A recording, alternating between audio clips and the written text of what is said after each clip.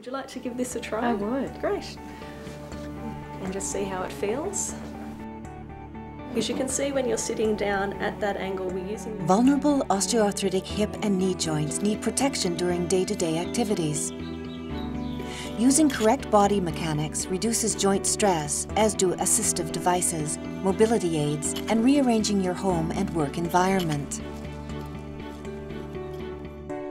Proper body mechanics includes moving the joints the right way and maintaining correct posture. There are ways to sit, sleep, and to move about in your daily life that protect and support your sore joint. When sitting, avoid low chairs. Use a chair with a low back or one that gives added lumbar support, with armrests you can push up on. Some people may find it helpful to add a firm cushion for more support. Because my arthritis was in my hips, I couldn't sit, and there wasn't any chair in its natural state that was, was comfortable for me. So a six inch dense foam cushion became my friend and it went in my car, it went into the office. Bed blocks can be put under sofa or bed legs to securely and safely raise the seat height so it's easier to sit down and stand up. Proper body positioning is important even when sleeping. When lying on your side, use a pillow between your legs. This maintains comfortable leg alignment. Always support your neck and choose a pillow height that keeps your neck in a neutral position. Sleep on a firm, supportive mattress. If you've had the same mattress for many years, it might be time to replace it or add a supportive foam layer to the top. A good night's sleep keeps energy levels high and gives your joints a much needed rest. Try to avoid stairs. Use ramps, elevators, or escalators instead. If you have to use stairs, remember the heaven and hell rule. And basically, the idea behind the heaven and hell rule is that when you're going up the stairs, it's like you're going to heaven, so you lead with your good leg. And when you're coming down the stairs, you lead with your bad leg, like you're going to hell. So your good leg does the vast majority of the work in terms of bending and also the amount of joint loading with that. Um, would you like to give it a try? Yes, I would. Yeah, great. Okay, so when you're going up, you're leading with the good leg, like you're going to heaven. Okay, and when you're coming down the stairs, you're leading with your bad leg, like going to hell. Okay, and how did that feel? No, that feels. Getting in and out of the car can also be challenging with a painful hip or knee. So I put my leg straight and I sit this way so that way I don't have to bend the leg too much. And before I do that, every time I exit the car, uh, instead of having the steering low, I, I, lift it up so it gives me more space. And another change that I did, I used to drive very close to the steering like this, like NASCAR style, because apparently it's a better technique, better control of the car. But it caused me some lot of pain, lots of pain in this in this hip. It, has started a, a, few a few weeks ago. So I, by moving my seat back a little bit, and pulling the steering close to me, it changed the angle of my leg and uh, the pain is disappeared. Made a big difference. Another way to protect joints is to avoid putting pressure on the lower body by not carrying heavy loads. But even small weighted items should be carried properly, that is, close to the body.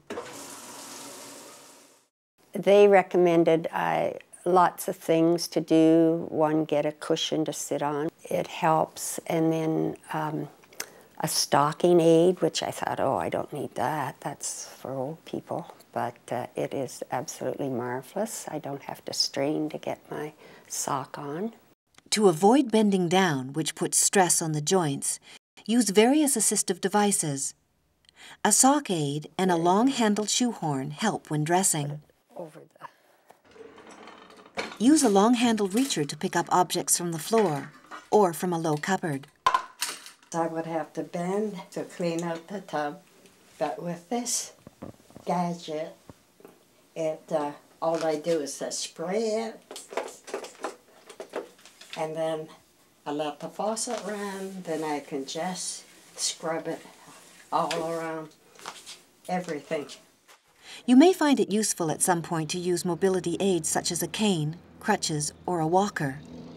And if you can allow yourself to use those devices to manage just the small day to day things, you might find that then you have the energy to go do the really fun things and those things that you really do enjoy in life. It may be useful too to arrange your home so that objects are easier to reach and to maneuver around. For example, in the kitchen, keep frequently used items stored between waist and shoulder height. If your pots and pans are kept in a low cupboard, move them to a higher shelf that you can easily reach. Avoid activities that involve weight bearing through bent hips and knees, such as getting in and out of the bathtub. In terms of getting over the side of the bath though, there is a piece of equipment such as this, which is called a bath transfer bench. Um, this can, is height adjustable, so you can adjust it to a height where you can comfortably sit down and also stand up from it. Um, and the idea is that you sit down on it and swing your legs to get over the side of the bath so you don't actually have to step over, which can make it a little bit more safe for you and also increase your confidence. So, would you like to give it a try? Yes.